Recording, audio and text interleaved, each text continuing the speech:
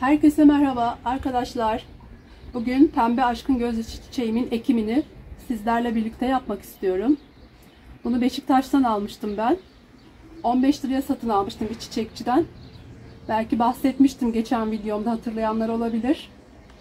Dokunmaya da gelmiyor. Pıtır pıtır bütün gözyaşlarını düşürüyor arkadaşlar. Ve maalesef o gözyaşlarını tekrar toprağa ekiyorum ama yani çok nadir veriyor. Ben daha önce de almıştım ve onu bir şekilde kaybettim o türümü. Bir şekilde o olmadı bende. Bu sefer tekrar deneyeceğim. Şurada birkaç tane yaprak kendiliğinden düşüp sanırım köklenmiş. Bunları da yine onun yanına ekerim ben. Buradan öncelikle bir alayım onları.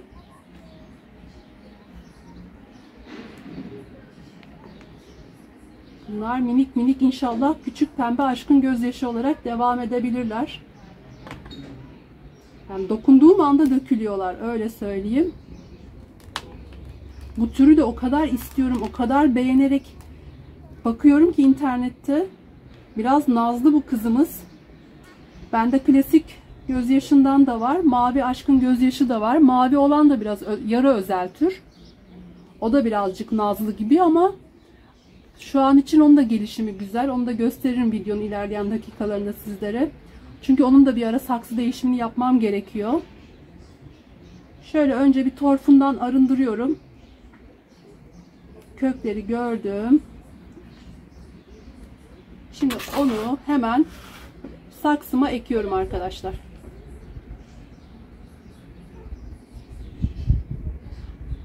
Bu çiçek pembe aşkın gözyaşı çiçeği arkadaşlar. Güneşi gördükçe bu gözyaşları pes pembe oluyor. Çok güzel bir görüntüsü var. Çoğaltımı bu aşkın gözyaşı çiçeğinin çelikten daha kolay oluyormuş arkadaşlar. İnternetten araştırdığım kadarıyla çelik yöntemiyle çok daha kolay üretim yapılıyormuş. Bu küçük küçük gözyaşlarını toprağa düşürüp kendiliğinden çıkma ihtimali de var ama biraz nazlı büyüyor. O süreç çok nazlı geçiyormuş. Suyu çok fazla sevmiyor. Onu söyleyeyim. Çünkü o da bir sukulent türü. Bakınız. Bunlar düşmüş.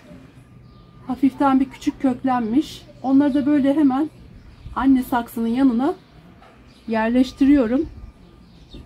Bakarsınız bunlar büyüyüp birer fide olabilirler.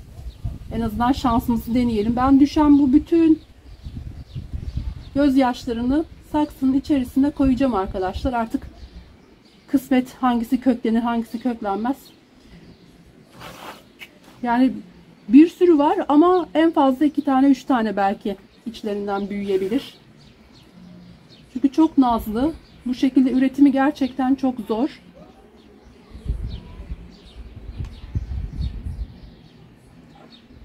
Ve ben bunu gayet uygun bir fiyata buldum aldım arkadaşlar. Üstelik de bir çiçekçi dükkanında.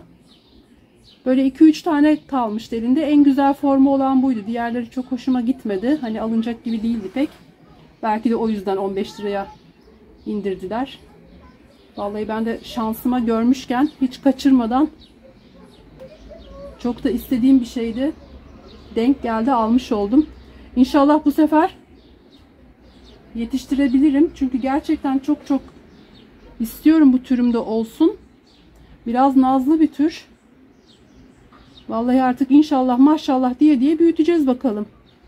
Sizlere de videolarımda gösteririm zaten durumunu.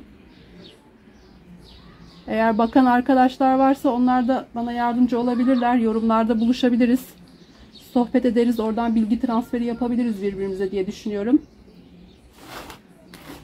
Hani oldukça bilgim var bu tür hakkında ama yine tecrübe her zaman için daha iyidir. Ben de faydalanırım açıkçası. Evet arkadaşlar sanırım güzel oldu. Bunu hemen şimdi sulamıyorum zaten. Birkaç gün sonra suyunu vereceğim. Ee, sabah güneşi alan bir yerde konumlandıracağım bunu balkonda. Şu an için bu şekilde dursun bakalım gidişatımız ne yönde olacak bu aşkın gözyaşı hanımefendi ile. Evet arkadaşlarım izlediğiniz için hepinize çok ama çok teşekkür ederim. Bir sonraki videomda görüşmek üzere. Hoşçakalın.